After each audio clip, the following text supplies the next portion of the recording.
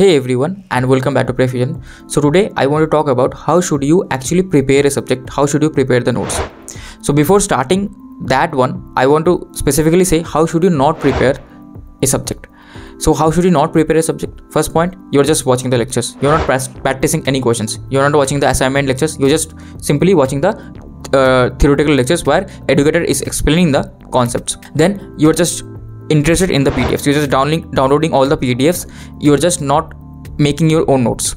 Then you're just searching for materials. In this group you're searching which uh, book is best for practicing this particular subject. Then uh, like which academy is best for practicing questions. You're just collecting all the materials but you're not actually practicing. You're just collecting all the materials. You're just asking each other day that what should i do next what should i do next but you're not actually applying that to your uh, preparation strategy and also when you are solving the pyqs you see the question then you are not able to solve it then you directly go to the solution. You just don't give your brain one minute two minutes to think about the question conceptually.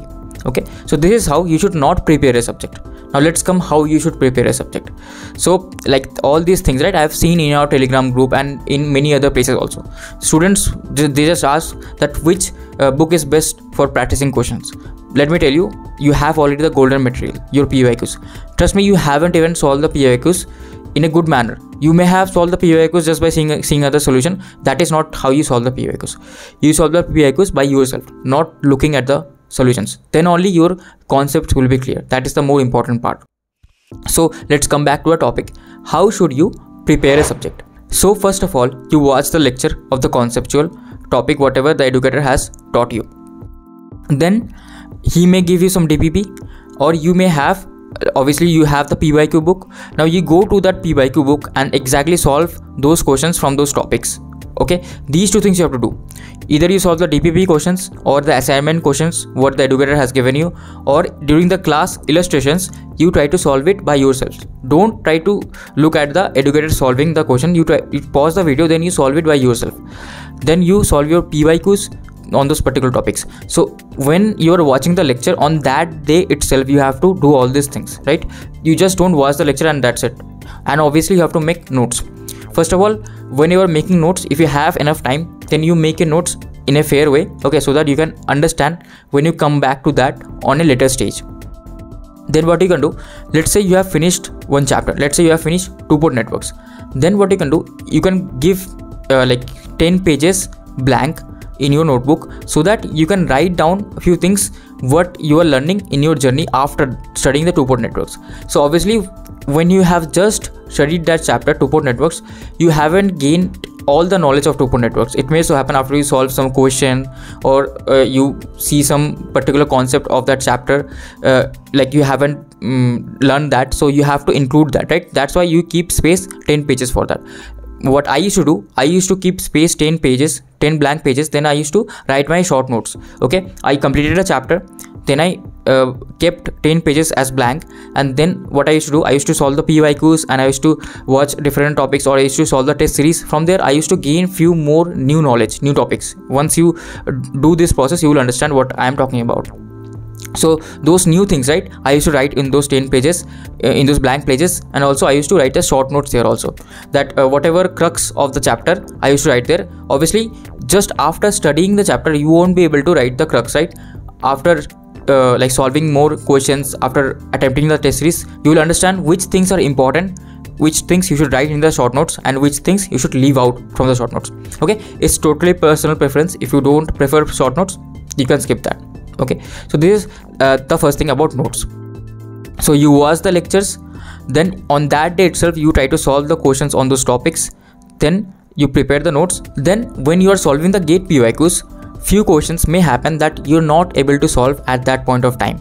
So obviously those questions were difficult according to you. See you mark those questions. Okay. Why do you mark those questions?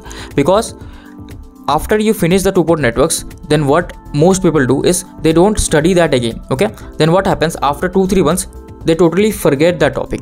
It may it may seem that you are totally new to the topic and you haven't even studied the to- topic previously.